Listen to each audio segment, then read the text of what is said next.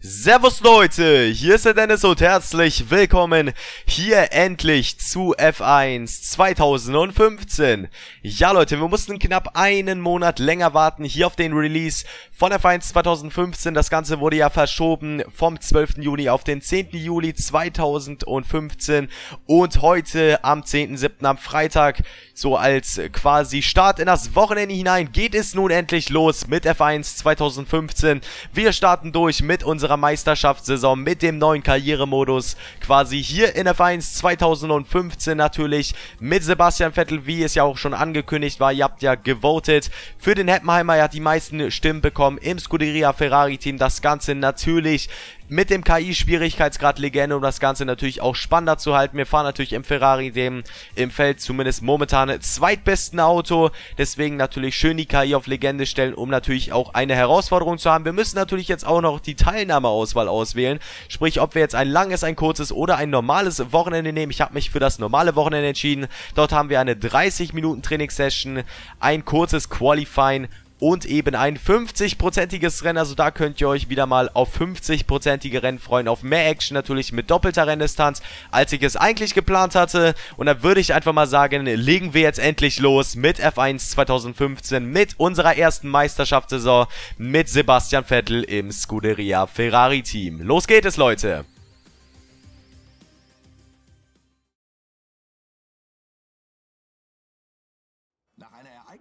Testphase ist endlich das erste Rennwochenende der Saison gekommen.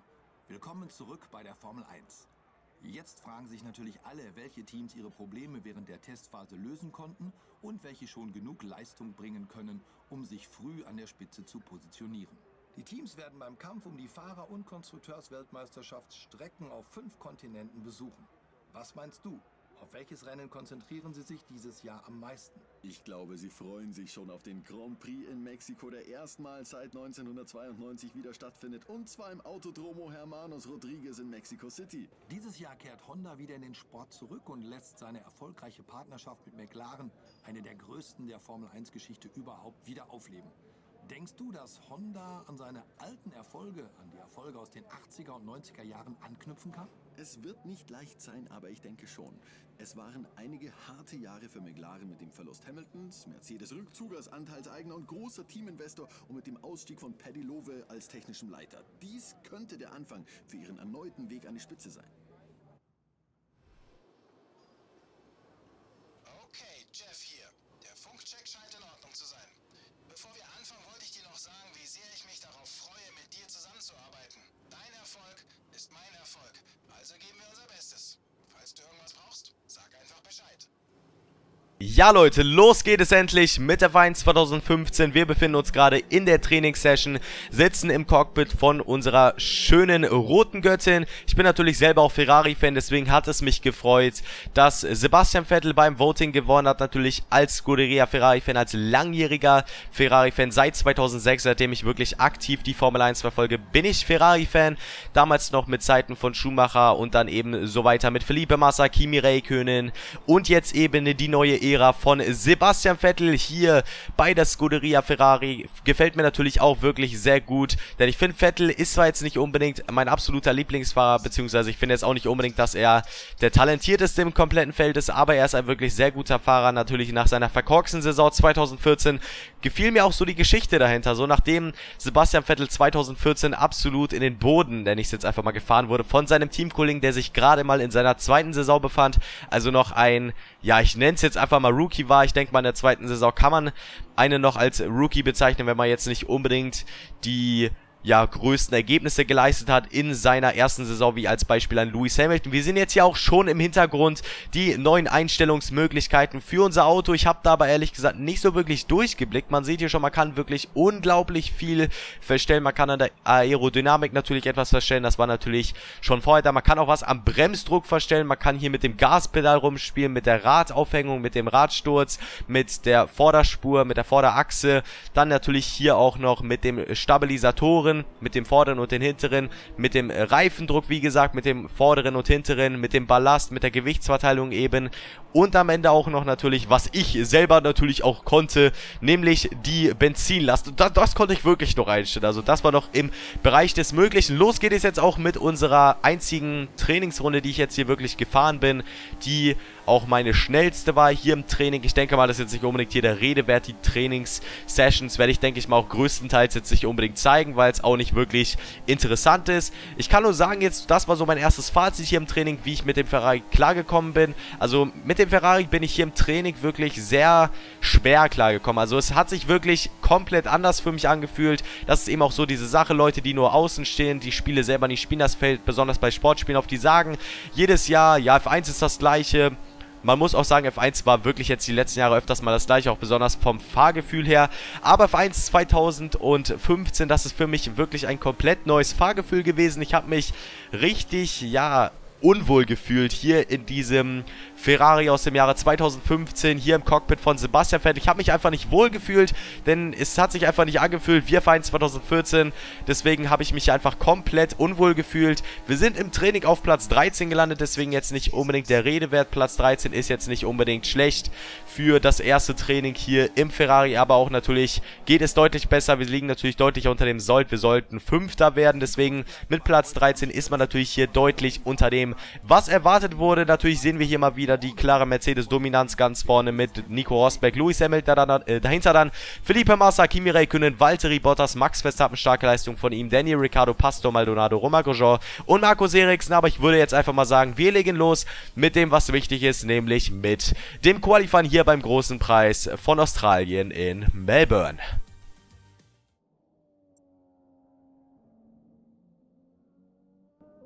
Willkommen in Melbourne. Das Qualifying für den großen Preis von Australien sollte jeden Moment losgehen. Bald werden wir erleben, was diese Boliden wirklich auf der Strecke leisten können. Was erwartet uns im kommenden Qualifying? Ich glaube, wir sind uns einig, dass das Kraftpaket von Mercedes dieses Jahr besonders stark sein wird. Aber ich würde Red Bull und Ferrari noch nicht ganz abschreiben. Wir wissen ja, dass sie das Talent und die Ressourcen haben, mit jedem Problem fertig zu werden. Sie fangen vielleicht langsamer an, aber ich erwarte, dass sie zum ersten Rennen in Europa mit einigen großen Updates aufwarten können. So, jetzt wird es nämlich interessant. Wir legen los mit dem Qualifying. Eine 18-minütige Session haben wir hier bei diesem normalen Wochenende. Beim langen Wochenende hätten wir eine komplette Session mit Q1, Q2, Q3. Aber um ehrlich zu sein, bin ich jetzt auch schon so ein bisschen daran gewohnt, eben nur eine Session zu machen aus der F1 2014, beziehungsweise aus der F1 2015 Mod-Karriere. Und jetzt zeige ich euch auch etwas Neues, was es hier gibt in der F1 2014.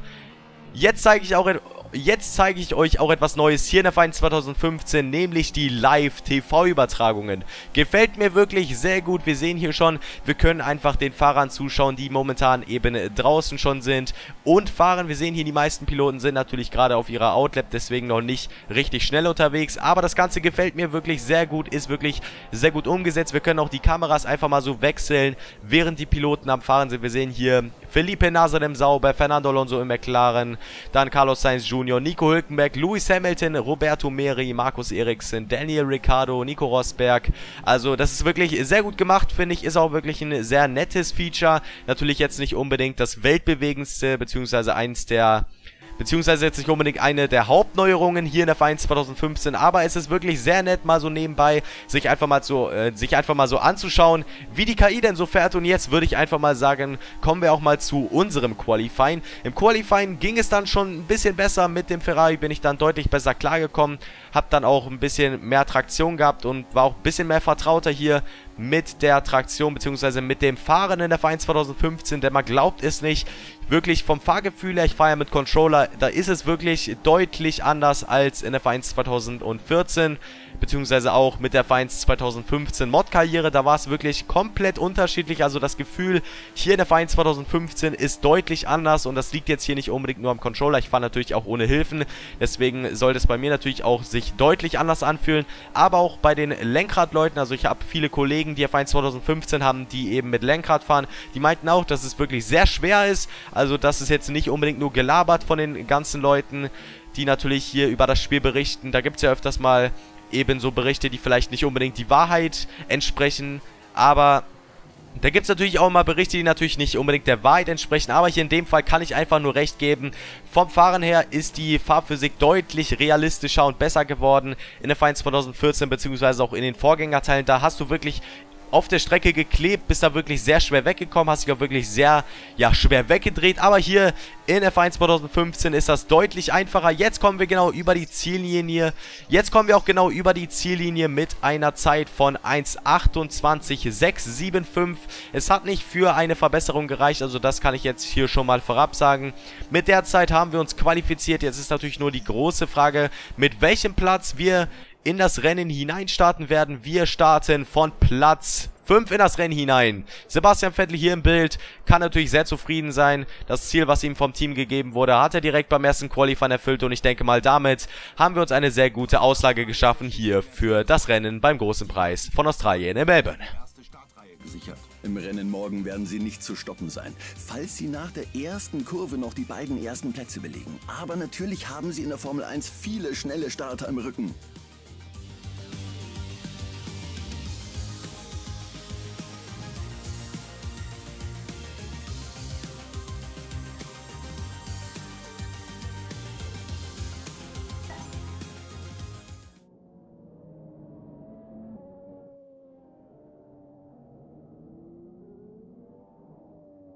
Wir haben hier scharenweise Zuschauer, das wird ein fantastischer Renntag. Willkommen beim großen Preis von Australien. Was für ein toller Saisonstart für Nico Rosberg. Er steht beim heutigen Rennen auf der Pole Position. Das Ergebnis des gestrigen Qualifyings wird ihn sehr gefreut haben. Er weiß aber auch, dass es hart wird, das heutige Rennen zu gewinnen. Rosberg muss sich auf die vor ihm liegende Aufgabe konzentrieren. Er hat eine starke Ausgangsposition und wenn er nach den ersten paar Runden die Nase vorn behält, kann er einen Vorsprung herausfahren. Ich glaube, er hat gute Chancen auf den Sieg, wenn sein Auto mitspielt. Wenn du Lewis Hamilton wärst, wie würdest du heute an das Rennen gehen? Gestern fehlten doch wertvolle Zehntel. Glaubst du, er packt das heute? Der Wagen ist gut ausbalanciert und er muss herausfinden, wo er ein oder zwei zusätzliche Zehntel herausholen kann, um den Unterschied auszugleichen.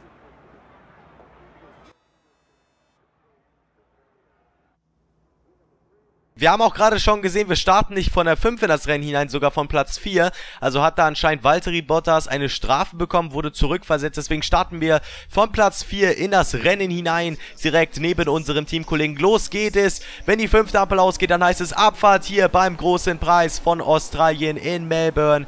Los geht es, wir starten relativ okay.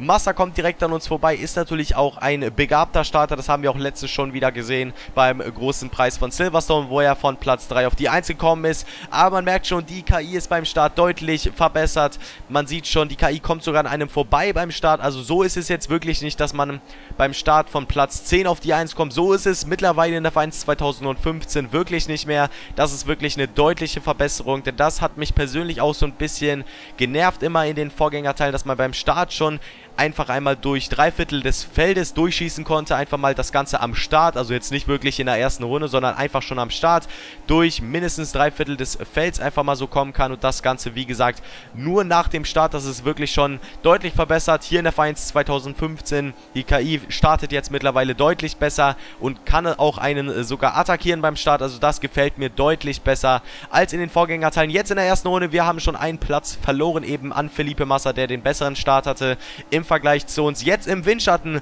vom Brasilianer im Williams und wir ziehen hier vorbei nach der langen Geraden, nach dem zweiten Sektor. Starkes Überholmanöver von uns hier in der Kurve gewesen. Da ist es natürlich immer eng in der Kurve zu überholen, aber wir haben das Ganze hier sehr gut vollbracht gegen Felipe Massa im Williams. Jetzt aber, glaube ich, kommt auch die Stelle, ja genau jetzt hier. Wir kommen wirklich sehr weit raus auf das Gras, berühren auch noch die Wand, das hat man da auch sehr gut hören können. Rosberg auf der 1, jetzt eben die Attacke von Felipe Massa gegen uns uns auf der Geraden mit Mercedes Power natürlich überlegen, auch wenn der Ferrari-Motor hier im Jahre 2015 deutlich entwickelter ist und auch deutlich schneller ist als im vorherigen Jahr, ist der Mercedes-Motor immer noch eine Macht in der Formel 1. Deswegen kommt Felipe Massa hier auch deutlich besser vorbei an uns. Und bei der nächsten Geraden war da auch leider keine Chance mehr an Felipe Massa wieder vorbeizukommen, also sich quasi zurück zu überholen. Da hatten wir leider keine Möglichkeit mehr. Jetzt vielleicht können wir uns hier irgendwie vorbeibremsen an Felipe Massa am Ende des ersten Sektors und wir kriegen es irgendwie geschafft. Um ehrlich zu sein, war das, glaube ich, auch abgekürzt, aber in der Situation, um ehrlich zu sein, war es mir auch ein bisschen egal. Jetzt in der dritten Runde aber kam auch wieder die Attacke von Felipe Massa. Also auf der Geraden war der Williams hier deutlich überlegener. Jetzt nochmal eben kurz zur Stelle, eben gerade. Wir haben da wirklich sehr unfair überholt, muss ich jetzt sagen, wenn ich mir das Ganze im Nachhinein nochmal anschaue. Aber Felipe Massa hat sich ja auch hier zu Recht wieder zurück überholt. Wir berühren uns da, glaube ich, nochmal, nämlich das linke Vorderrad von uns hier im Ferrari das rechte Hinterrad von Felipe Massa haben sich da in der Situation berührt. Jetzt in der siebten Runde vielleicht wieder die Attacke, vielleicht an der gleichen Stelle sogar. Ja, wir können an der gleichen Stelle wieder das Überholmanöver starten und auch vollbringen. Also ein wirklich sehr spannender und interessanter Kampf, der mir hier wirklich sehr viel Spaß gemacht hat. Das ist Racing.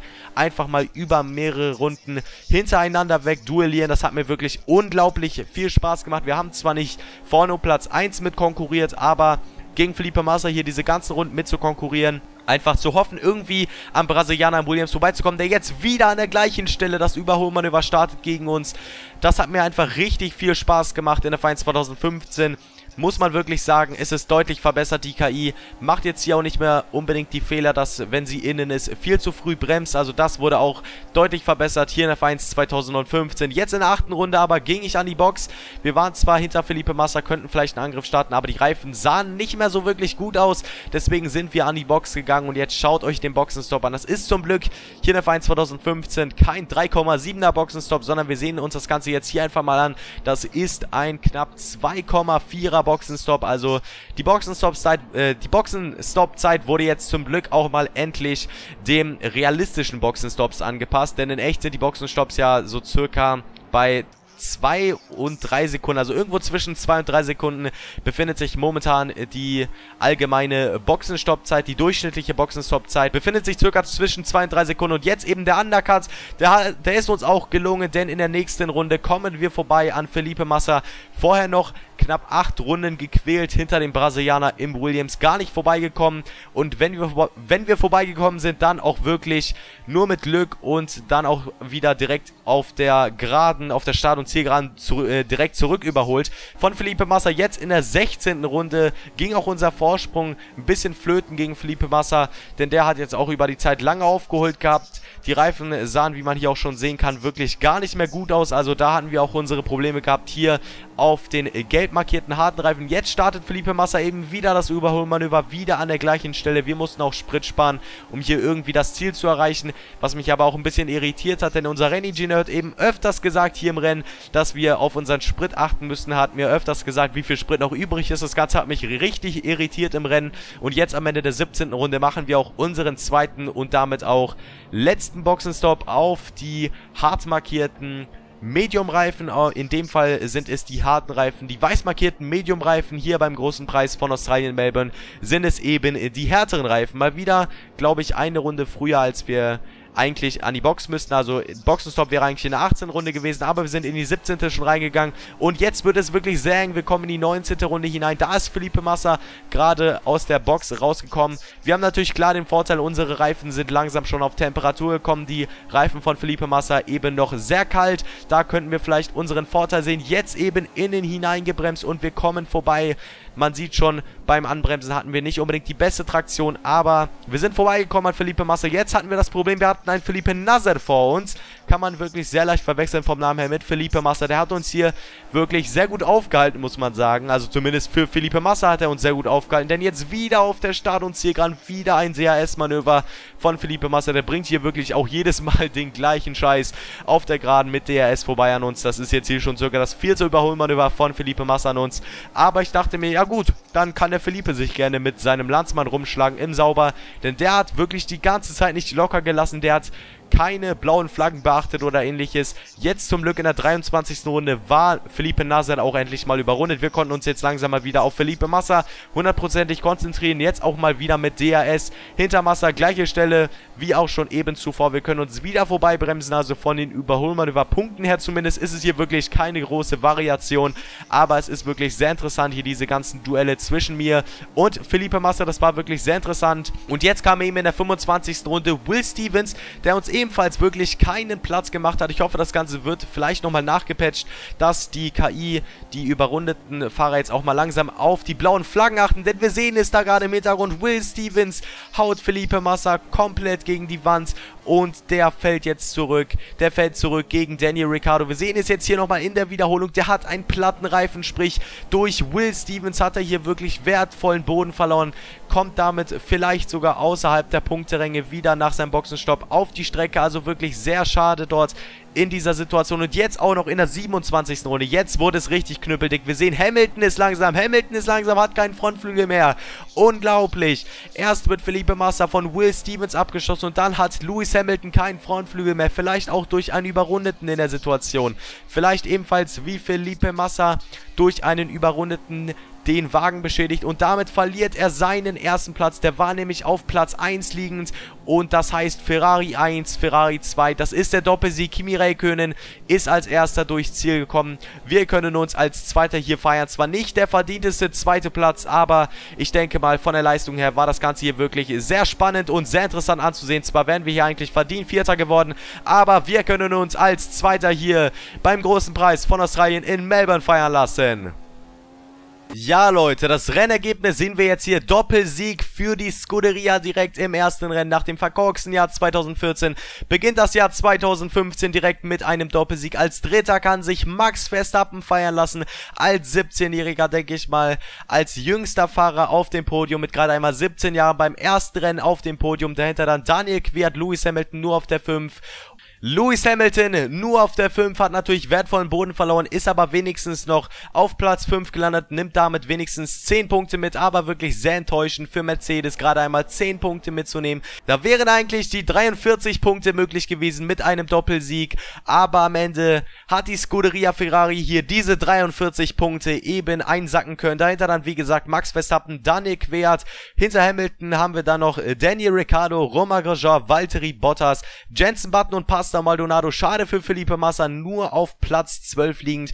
Wirklich sehr schade für Felipe Massa, denn er hat wirklich ein sehr spannendes und sehr, ja, ein wirklich sehr spannendes und sehr er hatte wirklich ein sehr spannendes und wirklich sehr langes Duell mit uns. Wirklich sehr viele Runden hintereinander haben wir uns da wirklich sehr hart duelliert und am Ende eben mit uns als Sieger. Damit haben wir Platz 2 hier beim großen Preis von Australien in Melbourne im Albert Park hier uns gesichert. Schade für Felipe Massa, der hätte wirklich den dritten Platz verdient gehabt. Aber nun ja, so ist es halt leider geschehen durch Will Stevens hier nicht mal einen Punkt mitgenommen. Sehr schade für den Brasilianer im Williams-Team. Aber nun ja, so ist eben die Formel 1. Und da würde ich einfach mal sagen, bedanke ich mich wie immer fürs Zuschauen. Hoffe, das Ganze hat euch wie immer gefallen. Wenn ja, dann lasst auf jeden Fall ein Like da hier für den ersten Part von F1 2015 hier von dem Karrieremodus mit Sebastian Vettel von der ersten Meisterschaftssaison mit dem Heppenheimer im Scuderia Ferrari Team. Wie gesagt, lasst ein Like da, wenn euch das Ganze gefallen hat und dann würde ich einfach mal sagen, ich bin raus. Bis dann, haut rein. Wir sehen uns dann vielleicht morgen schon beim zweiten Part in Malaysia. Haut rein und Peace.